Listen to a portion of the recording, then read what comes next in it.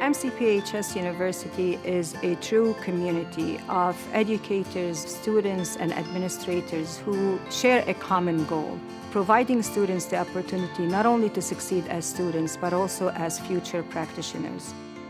I loved my instructors here at MCPHS. You could email them, you could call them, you could Skype them, make appointments with them, and no question is too big or too small to ask them.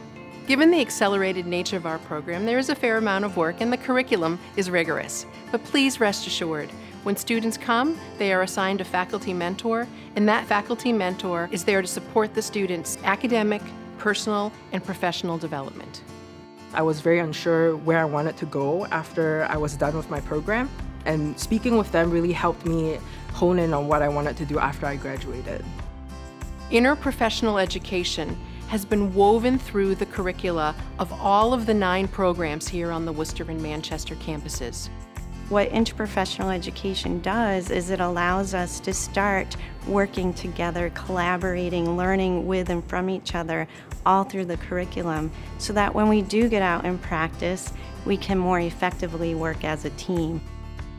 Pharmacy is a small world, and we are expecting that once our students go into the field of pharmacy to practice, that they will continue to collaborate and network with each other, as well as other members of the healthcare team that they get to work with when they are on advanced clinical rotations.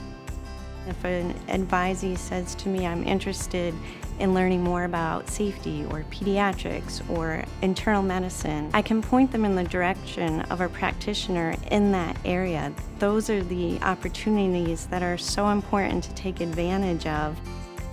Our goal is to make sure that our students are prepared to provide collaborative patient care upon graduation, that they would be able to make a difference in the pharmacy world and they would help advance the profession through legislation as well as their clinical work and research.